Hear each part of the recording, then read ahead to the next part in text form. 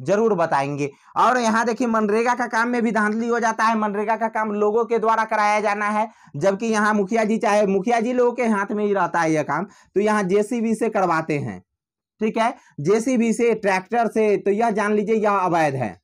तो इसका कोई भी लोग वीडियो बना करके और फिर उस वीडियो को ले जा करके अटैच करवा दीजिए लोक शिकायत निवारण पदाधिकारी को आप आवेदन दे करके। यह मनरेगा का काम पूरा उनको भ्रष्ट में पहुँच जाएगा और मनरेगा का काम में जानते ही है फिर एक भी पैसा उनके नहीं आएगा किसी भी व्यक्ति के खाते पे। मनरेगा के काम में दूसरे, यानी कि लेबर के खाते पे पैसा आता है।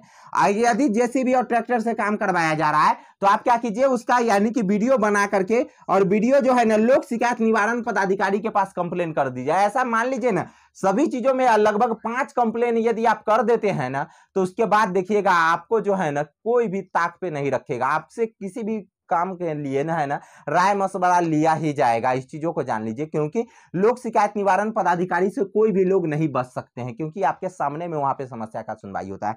तो जान लीजिए, जिन मुखिया जी जो है ना, यानी कि जैसे भी ट्रैक्टर से काम करवाते हैं या कहीं अलग के मजदूरी से मजदूरी करवाते हैं, जिनके खाता पे पैसा आता है, उनसे मजदूरी नहीं करवाते यह सारी समस्या को अपने जनता से साइन इन करवा करके और फिर उसी आवेदन को क्या कीजिए, लोक शिकायत निवारण पदाधिकारी के पास डाल दीजिए, इंटरनेट वाले के पास जाकर के।